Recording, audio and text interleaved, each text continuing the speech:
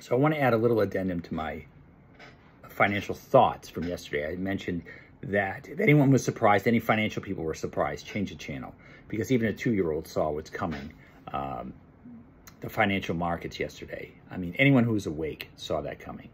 And um, my addendum I want to add on to that is if you listen to financial people who say, oh, based on history, we've seen this, this, and this happen, and we know that this will happen, and just trust the markets, trust the markets. No one knows. We've never been here in history. We've never been, add, I want you to add on to whatever they say, the tagline, 35 trillion in debt.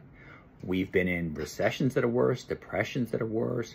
Uh, we've had gas lines in the 70s, but now with 35 trillion in debt. We've had interest rates that were much worse than now, much worse than the 7% we're seeing now, but we've never had 35 trillion in debt. We've had 20 years, we were over in Afghanistan, we weren't 35 trillion in debt. So we're in uncharted territory is my point. So if you listen to any financial people to say, we've been here, we know what's happening, trust the market, trust the market. Market might be fine. Market might be fine.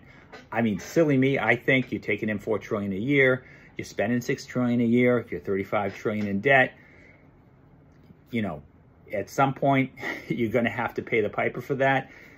I don't know. I can't run my businesses that way, but who am I? Maybe they figured a way to do it. Take in four, spend six. Take in four, spend six. It'd be a good song. Take in four, spend six. We got something in a bag of tricks. We're going to ruin your kid's future. Someone make a song out of that. Anyways, my point is, I'm delirious Financial today. crisis stuff aside, we're here for a speck of time. Eternity's forever. 10 out of 10 people are going to meet their maker.